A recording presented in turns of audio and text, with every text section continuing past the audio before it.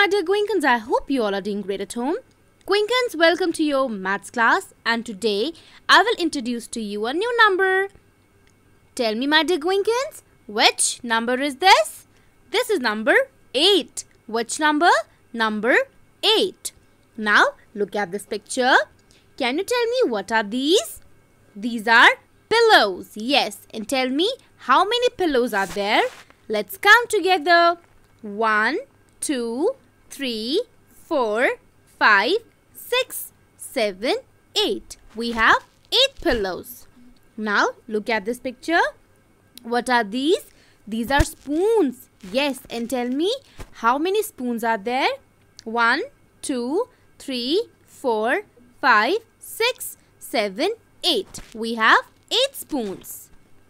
Now my dear Goenkans, all of you, take out your maths notebook we have to trace the number 8. Okay, take out page number 37. But before we start writing and tracing the number 8, Goenkans tell me what are these? These are octopuses. Yes, and tell me how many are they number? Let's count. 1, 2, 3, 4, 5, 6, 7, 8. We have 8 octopuses. Very nice. Now let's trace the number 8. See my dear Goenkans how you will do? Start from this point, go round, criss and cross like this. This is number 8. Let's trace one more time. See my dear Goenkans? Make a curve, go round, round, round like this, criss like this. Okay? Now my dear Goenkans, take out page number 38. We have to write number 8. So all of you look here. First we will trace number 8.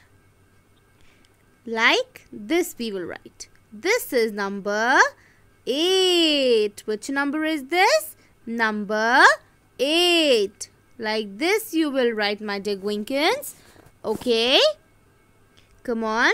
Keep on writing. Keep on writing. Like this you will do. Good girls and boys. Very nice. So this is number 8. Okay?